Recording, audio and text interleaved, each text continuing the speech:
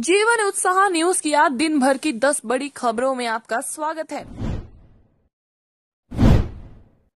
जून के अंतिम सप्ताह में पुलिस कांस्टेबल की लिखित परीक्षा कराने की तैयारी।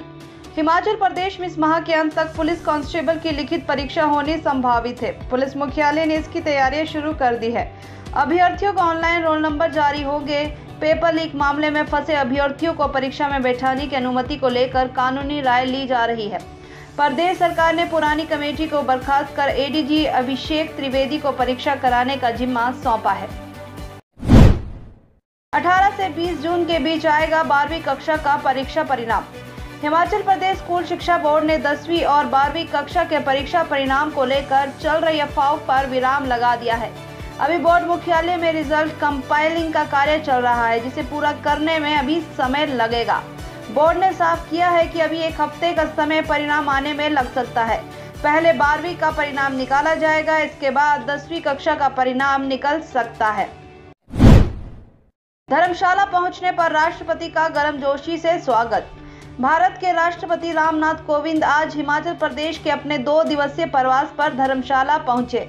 भारतीय खेल प्राधिकरण ग्राउंड धर्मशाला में राज्यपाल राजेंद्र विश्वनाथ आलेकर मुख्यमंत्री जयराम ठाकुर विधानसभा अध्यक्ष विपिन सिंह परमार, सामाजिक न्याय एवं अधिकारिता मंत्री सरवीन चौधरी, सांसद किशन कपूर, विधायक विशाल नेहरिया, धर्मशाला नगर निगम के महापौर ओंकार नेहरिया ने मुख्य सचिव राम सुबक सिंह, पुलिस महानिदेशक संजय कुंडू, प्रधान सचिव सामान्य प्रशासन भरत खेड़ा, उपायुक्त कांगड़ा डॉक्टर निपुण चिंदल और पुलिस अधीक्षक कांगड़ा डॉक्टर खुशहाल शर्मा ने उनका स्वागत किया। कूड़ा उठाने आई एमसी की गाड़ी का पुलिस ने काटा चालान।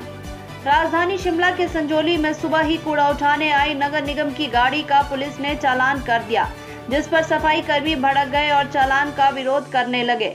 जिस पर पुलिस कर्मियों ने अंदर करने की धमकी दी, वहीं कर्मियों ने गाड़ी वहीं खड़ी कर दी और कूड़ा उठाने से मना कर दिया।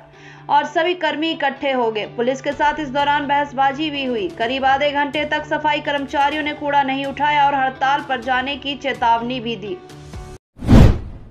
ठेकेदार ने मिट्टी पर की टायरिंग, गुस्साए लोगों ने हाथ से उखाड़ी। रेणुका जी विधानसभा में एक सड़क के टायरिंग कार्य में जमकर भ्रष्टाचार की लीपा पोती की जा रही है। गुस्साए लोगों के सब्र का बाँध टूटा तो लोगों ने सड़क की हाल में हुई टायरिंग को हाथ से ही उखाड़कर ठेकेदार और विभाग के कारनामों की पोल खोल दी। मामला उजागर होने के बाद आज स्थानीय विधायक विनय कुमार भी मौके पर पहुँचे। यह तस्वीरें रेणुका जी विधानसभा क्षेत्र के ददाहू बिरला वाया तिरमली सड़क में टायरिंग के निर्माण कार्य की है, जो साफ़ बयां कर रही है कि सड़क की टायरिंग के दौरान किस तरीके से यहाँ भ्रष्टाचार के साथ समझौता कर यहाँ सड़क निर्माण में लिपा पोती की गई है? चार साल बाद छात्रों को लैपटॉप देने पर कांग्रेस ने उठाए सवाल। मुख्यमंत्री जयराम ठाकुर को दी ये नसीहत। हिमाचल प्रदेश सरकार द्वारा दसवीं और बारहवीं के मेधावी छात्रों को लैपटॉप देने का कार्य शुरू कर दिया है। वहीं चार साल बाद छात्रों को लैपटॉप देने पर कांग्रेस ने सवाल खड़े किए हैं। और इसे सरकार की नाकामी करार दिया है। हिमाचल प्रदेश कांग्रेस कमेटी के उपाध्यक्ष नरेश चौहान आज शिमला में पत्रकार वार्ता करके जयराम सरकार पर हमला बोला। का जी हमारा जो जिला सिरमौर का बड़ा ही महत्वपूर्ण धार्मिक पर्यटन स्थल है और वहाँ पे जो है हमने बायो टॉयलेट्स जो लगाए हैं लेकिन उनकी संख्या कम है तो अब एक डिसीज़न उसमें किया गया है कि हम एक मोबाइल बायो टॉयलेट्स वहाँ पे जो स्थापित किए जाएँगे। ताकि उनको उनकी जो पोजीशन है उसको भी चेंज किया जा सकता है और जो बाहर से टूरिस्ट आते हैं। उनको भी एक साफ़ सुथरी व्यवस्था जो है वहाँ पे मिलेगी ताकि आने वाले श्रद्धालु हैं उनको शौचालय के और किसी तरीके की किसी प्रकार की असुविधा का सामना न करना पड़े। साथ में भी डिसाइड किया गया है कि उस क्षेत्र में जो है वो पॉलीथीन का पूर्ण रूप से प्रतिबंधित करने। एमएमयू मेडिकल कॉलेज ने 1200 प्रशिक्षुओं से डकार ली फ़ीस आयोग ने लगाया 45 लाख जुर्माना। महर्षि मार्केंडेश्वर विश्वविद्यालय और मेडिकल कॉलेज सोलन के खिलाफ करीब 1200 सौ एमबीबीएस विद्यार्थियों से 103.96 करोड़ रुपए की अतिरिक्त फ़ीस डकारने के आरोप साबित हुए हैं। राज्य निजी शिक्षण संस्थान विनियामक आयोग की अदालत में वीरवार को हुई मामले की सुनवाई के दौरान विश्वविद्यालय और कॉलेज प्रबंधन को दोषी ठहराते हुए अधिक वसूली फ़ीस वापस करने के निर्देश दिए हैं। वहीं दोनों पर 45 लाख का जुर्माना भी लगाया है। पंजाब और दिल्ली को गर्मी में राहत पहुँचा रही हिमाचल की बिजली। चिलचिलाती गर्मी से जूझ रहे पंजाब और दिल्ली को हिमाचल बिजली सप्लाई देकर राहत पहुँचा रहा है। दिल्ली की दो कंपनियों सहित पंजाब को हिमाचल प्रदेश से बेकिंग पर रोज़ाना एक सौ उनतालीस लाख यूनिट बिजली सप्लाई दी जा रही है।